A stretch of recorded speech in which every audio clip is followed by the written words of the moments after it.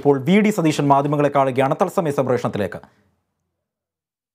എല്ലാം ജനം കാണുന്നതുകൊണ്ട് അതിനെക്കുറിച്ച് കൂടുതൽ സൂചിപ്പിക്കേണ്ട ആവശ്യമില്ല. മുഖ്യമന്ത്രിയെ പ്രകോപിപ്പിച്ചത് രണ്ട് കാര്യങ്ങളാണ്. ഒന്ന് ലൈഫ് മിഷനെ കുറിച്ചുള്ള ഞങ്ങളുടെ അടിയന്തര പ്രമേയ നോട്ടീസും രണ്ട് ബ്രഹ്മപുരം മാലിന്യ പ്ലാന്റിനെ സംബന്ധിച്ചുള്ള അടിയന്തര പ്രമേയ നോട്ടീസും.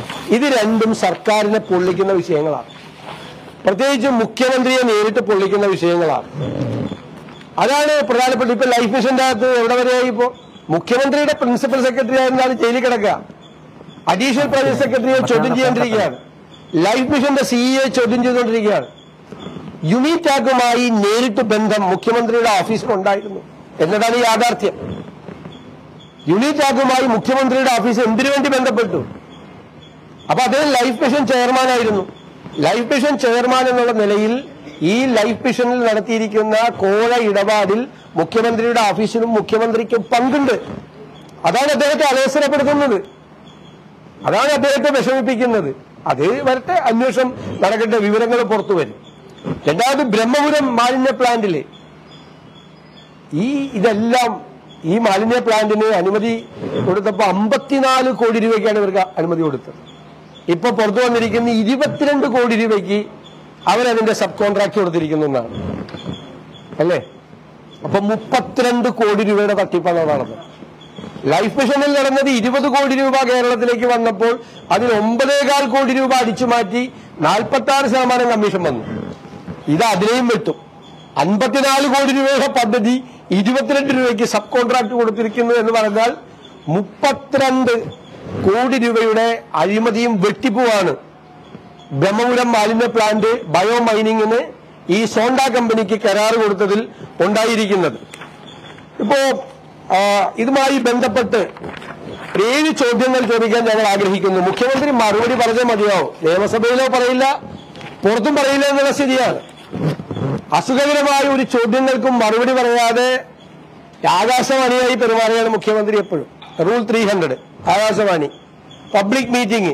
സി പി എമ്മിന്റെ പബ്ലിക് മീറ്റിംഗിൽ പോയി പറഞ്ഞാൽ നിയമസഭയിൽ മറുപടി പറയാത്തത് സി പി എമ്മിന്റെ പബ്ലിക് മീറ്റിംഗിൽ പോയാൽ ഏതെങ്കിലും പാവങ്ങൾ ചോദിക്കുവാണെങ്കിലും ഏതെങ്കിലും പാവങ്ങൾ സാധാരണ മീറ്റിംഗിൽ പങ്കെടുക്കണം. അവരാരെങ്കിലും മുഖ്യമന്ത്രിയോട് എണീറ്റ് ഒന്ന് ചോദ്യം ചോദിക്കുക അപ്പോൾ എവിടെയെല്ലാം ആകാശവാണിയായി ആക്ട് ചെയ്യാൻ പറ്റും അവിടെ ആകാശവാണിയായിട്ട് ആക്ട് ചെയ്യൽ മാത്രമേ ഉള്ളൂ. ചോദ്യങ്ങൾ ചോദിക്കുന്നതിന് ഭയപ്പെടുന്നു. വിമർശനങ്ങളെ ഭയപ്പെടുന്നു. അതാണ് നിയമസഭയ്ക്ക് ഇല്ലത്തിൻ ചെയ്ത് ഓടാനുള്ള ഇടയായ സാഹചര്യം. അതിനുള്ള അന്തരീക്ഷം ഉണ്ടാക്കുകയായിരുന്നു ഞങ്ങൾ ബ്രഹ്മപുരം ദുരന്തത്തിന്റെ പശ്ചാത്തലത്തിൽ മുഖ്യമന്ത്രിയോട് ഏഴ് ചോദ്യങ്ങൾ ചോദിക്കുകയാണ്. ഒന്ന് പ്രളയത്തിന് ശേഷം രണ്ടായിരത്തി പത്തൊമ്പതിൽ മുഖ്യമന്ത്രിയും മന്ത്രിമാരും നെതർലൻഡ്സ് സന്ദർശിച്ചപ്പോൾ ഈ സോണ്ട കമ്പനിയുടെ പ്രതിനിധികളുമായി ചർച്ച നടത്തിയിട്ടുണ്ടോ?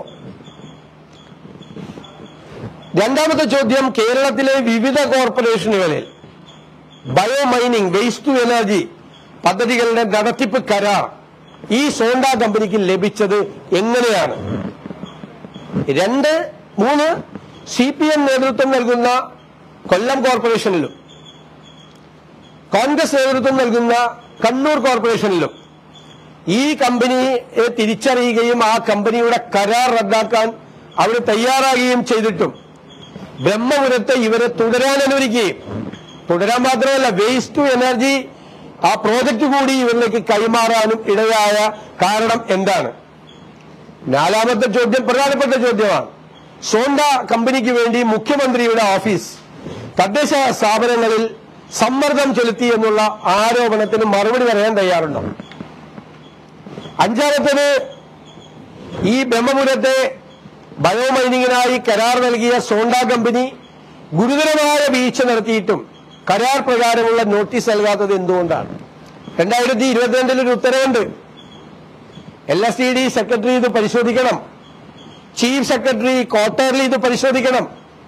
രണ്ടായിരത്തി ഇരുപതിലെ ഉത്തരവ് പ്രകാരം സർക്കാരിനാണ് പൂർണമായ ലെഗസി വേസ്റ്റ് റിമൂവലിന്റെ ഉത്തരവാദിത്തം ആ സർക്കാർ കാലാകാലങ്ങളിൽ നാഷണൽ ഗ്രീൻ ട്രൈബ്യൂണലിന്റെ നിർദ്ദേശപ്രകാരം കേരളത്തിലെ ചീഫ് സെക്രട്ടറിയും ബന്ധപ്പെട്ട ഉദ്യോഗസ്ഥന്മാരും തദ്ദേശ സ്വയംഭരണ വകുപ്പും ഈ ലെഗസി വേസ്റ്റ് റിമൂവ് ചെയ്യുന്നതുമായി ബന്ധപ്പെട്ട ബയോ മൈനിങ് കരാറുകാർ കൃത്യമായി കാര്യങ്ങൾ ചെയ്തിട്ടുണ്ടോ എന്ന് ഏതെങ്കിലും തരത്തിലുള്ള പരിശോധന നൽകിയിട്ടുണ്ടോ? കരാർ വ്യവസ്ഥയ്ക്ക് വിരുദ്ധമായി ഈ സോണ്ട കമ്പനി ഉപകരാർ നൽകിയത് സർക്കാരോ കൊച്ചിൻ കോർപ്പറേഷനോ അറിഞ്ഞിരുന്നോ?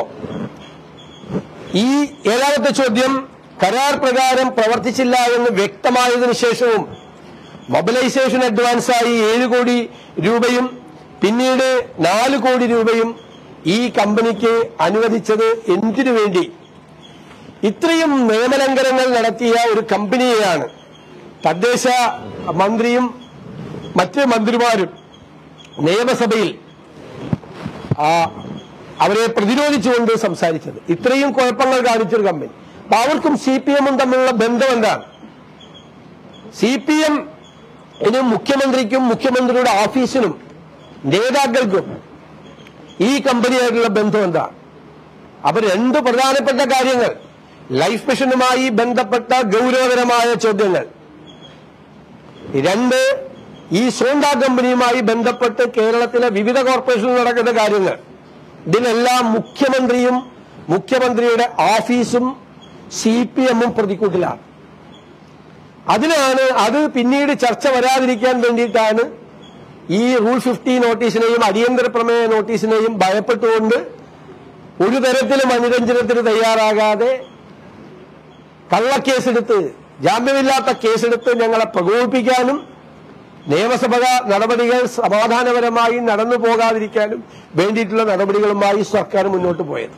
അല്ലാതെ മുഖ്യമന്ത്രി പറഞ്ഞതുപോലെ പച്ചക്കള്ളം പ്രചരിപ്പിച്ചതുപോലെ ഒരു സഭ്യേതര പ്രവർത്തനവും പ്രതിപക്ഷത്തിന്റെ ഭാഗത്തു നിന്ന് ഉണ്ടായിട്ടില്ല. ഉണ്ടെങ്കിൽ അതിന്റെ ചിത്രങ്ങൾ പുറത്തുവിടട്ടെ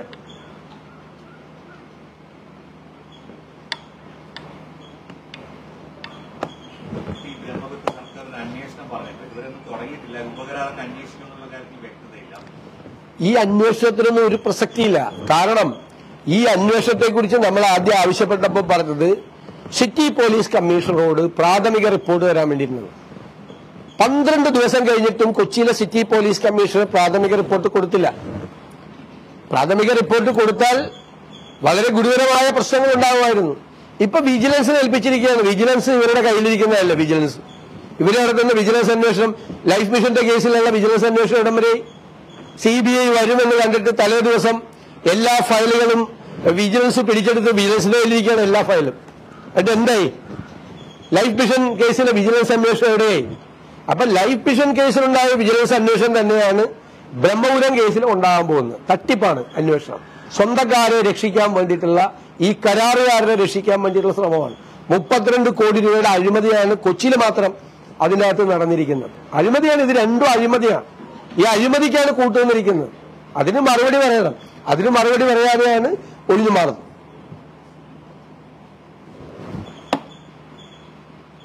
ഇത് ഈ- ഇത് ബി ജെ പി ദേശീയ തലത്തിൽ കോൺഗ്രസും സി പി എമ്മിനെതിരെ ആയുധമാണ് കോൺഗ്രസിന്റെ ചില നേതാക്കൾക്ക് വന്ന കരാറ് അവർ ആവശ്യപ്പെടുന്ന സി ബി അന്വേഷണമാണ് അല്ല, ഞങ്ങൾ ഞാൻ സി ബി ഐ അന്വേഷണം ആവശ്യപ്പെട്ടു.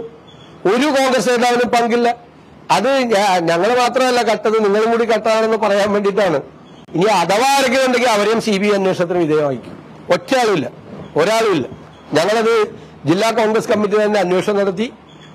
ഒരു തരത്തിലും ഒരു കോൺഗ്രസ്സുകാരും അതുമായിട്ട് ബന്ധപ്പെട്ടിട്ടില്ല. ഒരു കരാറും അവരായിട്ട് ആരുമായിട്ടില്ല. അത് വെറുതെ കൂടെ അങ്ങനെ പറയുകയാണ്. പിന്നെ ചില മാധ്യമങ്ങൾ അതും ഉണ്ടെന്ന് പറഞ്ഞിട്ട് അങ്ങനെ എഴുതുക. അപ്പൊ മൊത്തത്തിലൊരു ഒരു അരാഷ്ട്രീയവാദം ഉണ്ടാക്കാല്ല രാഷ്ട്രീയക്കാരൊക്കെ ഇങ്ങനെയാണ്. ഞങ്ങളാരും ഇല്ല. ഞങ്ങളാരും ഇതിന്റെ അകത്തില്ല. ഞങ്ങളുടെ കണ്ണൂർ കോർപ്പറേഷൻ തന്നെ കൃത്യമായി ഇടപെടൽ നടത്തി കൃത്യമായി കരാറ് റദ്ദാക്കി ഓടിച്ചത്. മുഖ്യമന്ത്രിയുടെ ഓഫീസിൽ നിന്ന് സമ്മർദ്ദം ചെലുത്തിയിട്ട് പോലും കണ്ണൂരിലെ മേയർ ടി ഒ മോഹൻ സമ്മതിച്ചില്ല. പറ്റില്ല എന്ന് പറഞ്ഞു ഈ കമ്പനിയുടെ. ഒരു ഒന്നും ചെയ്യുന്നില്ല എന്ന് പറഞ്ഞു. ഞങ്ങളെടുത്ത നിലപാടതാ. ഇനി അതല്ല ബി ജെ പി പറയുമ്പോ ആ, കോൺഗ്രസ് കാരണം സി പി എമ്മിനെ രക്ഷിക്കാൻ വേണ്ടിയിട്ട് കോൺഗ്രസിനെ കൂടി കൂട്ടി പറയാണ് ആരെങ്കിലും ഉണ്ടെങ്കിൽ സി ബി ഐ അന്വേഷിച്ചോട്ടെ. സി ബി ഐ അന്വേഷിച്ച് പിടിച്ചോട്ടെ. എല്ലാവരും പിടിച്ചോട്ടെ. ഞങ്ങൾ സി ബി ഐ അന്വേഷണത്തിന് ഞങ്ങൾ അനുകൂല. ഞങ്ങൾ തയ്യാറാണ്. ഞങ്ങൾ അതിനെ പിന്തുണയ്ക്കുന്നു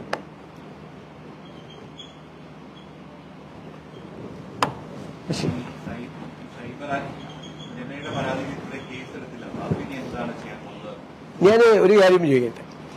ബാംഗ്ലൂരിൽ നടന്ന ഒരു സംഭവത്തിൽ സി പി എമ്മിന്റെ ഏരിയ സെക്രട്ടറി കൊടുത്ത പരാതിയുടെ പുറത്ത് സ്പെഷ്യൽ ഇൻവെസ്റ്റിഗേഷൻ ടീം ഉണ്ടാക്കി സ്വപ്ന സുരേഷെതിരെ അന്വേഷണം നടത്താൻ തീരുമാനിച്ചു. ബാംഗ്ലൂർ നടന്ന സംഭവത്തിൽ പാർട്ടിയുടെ ഏരിയ കമ്മിറ്റി സെക്രട്ടറിയെ കൊണ്ട്. കാരണം മുഖ്യമന്ത്രിക്ക് ആ, കേസ് ഫയൽ ചെയ്യാൻ പറ്റില്ല. പേടിയാണ്. അത് ഗോവിന്ദമാഷ് തന്നെ അത് തെളിയിച്ചു. ഗോവിന്ദമാഷ് വെറുതെ അല്ല നോട്ടീസ് അയച്ചത്. ഗോവിന്ദമാഷ് നോട്ടീസ് അയച്ചതിന്റെ ഒരു കാര്യം കൂടിയുണ്ട് മുഖ്യമന്ത്രിക്ക് മാനനഷ്ടത്തിന് ഫയൽ ചെയ്യാൻ ധൈര്യമില്ല എന്നതിന്റെ പ്രഖ്യാപനം കൂടിയായിരുന്നു ഗോവിന്ദമാഷ് നോട്ടീസ് അയച്ചത്. മനസ്സിലായില്ലേ? മുഖ്യമന്ത്രിക്ക് അതിന് തയ്യാറല്ല. മുഖ്യ ഗോവിന്ദം ഇ പി ജയരാജനും ഗോവിന്ദൻ മാഷും ഒക്കെ പറയുന്നതിന്റെ വരികൾക്കിടയിൽ കാര്യങ്ങളുണ്ട്. നിങ്ങൾ അന്വേഷിച്ചാൽ മതി. അപ്പൊ അവിടെ കേസെടുത്ത്. സ്പെഷ്യൽ ഇൻവെസ്റ്റിഗേഷൻ ടീമിനെ വെച്ചേക്കുവാണ്. ഇവിടെ കെ കെ രമ ഒരു എം എൽ എ ആണ്. എം എൽ എ കൊടുത്ത ഒരു പരാതിയിൽ അന്വേഷിക്കാൻ സർക്കാർ തയ്യാറല്ല. ഇവിടെ വഞ്ചിയൂര് ഒരു സ്ത്രീ രാത്രി വിളിച്ച് മകൾ വിളിച്ചിട്ട് അമ്മയെ ഇങ്ങനെ ആക്രമിച്ചു എന്ന് പറഞ്ഞിട്ട് മൂന്ന് ദിവസത്തേക്ക് കേസെടുത്തില്ല അവിടെ വന്ന് രാത്രി പന്ത്രണ്ടരയ്ക്ക് പോലീസ് സ്റ്റേഷനിൽ വന്ന് പരാതി കൊടുത്താൽ പറഞ്ഞ പോലീസാണ്. എന്തൊരു ഉത്സാഹമാണ് സ്വപ്ന സുരേഷത്തിനായിട്ട് ആ കേസെടുക്കാൻ വേണ്ടിയിട്ട്. എന്തൊരു ഉത്സാഹമാണ്. സ്ത്രീ സുരക്ഷയുടെ പ്രശ്നവുമായി ബന്ധപ്പെട്ട് കേരളത്തിൽ ജീവിക്കാൻ കൊള്ളില്ലാത്ത സ്ഥലമാണെന്ന്. ഈ തലസ്ഥാന നഗരിയിൽ മുഖ്യമന്ത്രിയുടെ മൂക്കിന് താഴെ ഒരു സ്ത്രീ പ്രഖ്യാപിച്ചിരിക്കുന്നത് ഞാൻ നാടുവിടാൻ പറഞ്ഞു ഈ നാട്ടിൽ ജീവിക്കാൻ കൊള്ളില്ല എന്ന് പറയാ. എത്രാമത്തെ സംഭവം ഈ സിറ്റിക്കകത്ത്? ആ സംഭവം പോലും നിയമസഭയിൽ കൊണ്ടുവന്നിട്ട് ചർച്ച ചെയ്യാൻ പറ്റില്ല. ചർച്ച ചെയ്യാൻ പറ്റില്ല പേടിയാണ്.